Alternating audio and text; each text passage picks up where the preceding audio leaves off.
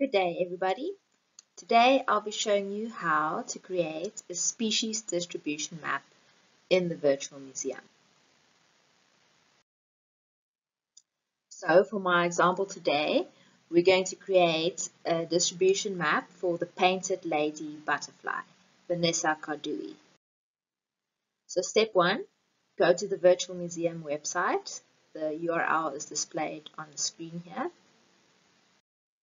Then next, you click on the logo of the project for which you are um, wanting a species map. Um, for today's example, we're going to be going into LepiMap. So you click on the LepiMap logo, and then next, um, on the left-hand side of your screen, you'll see a bunch of tabs, and there you'll see one that says Maps. You click on that. And then there are several options for, that you can choose from. You can create uh, a map for South Africa or even for the whole of Africa.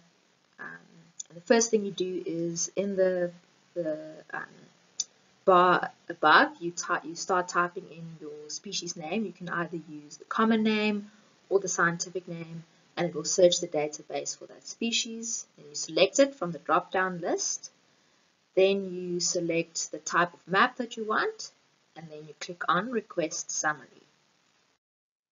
Then our service searches the LepiMap database to find the records for Painted Lady.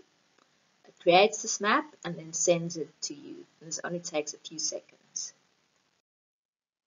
And you can then very easily just uh, right click on this map and save it to your desktop or laptop um, or cell phone and yeah, then you have an up-to-date species distribution map that you can use for whatever purpose you choose. So it's quite cool. And just a nice picture of the painted lady. And yeah, this process I showed you just now is accessible in all the projects in the virtual museum. So go take a look, go play around and go have fun in the VM. Thank you.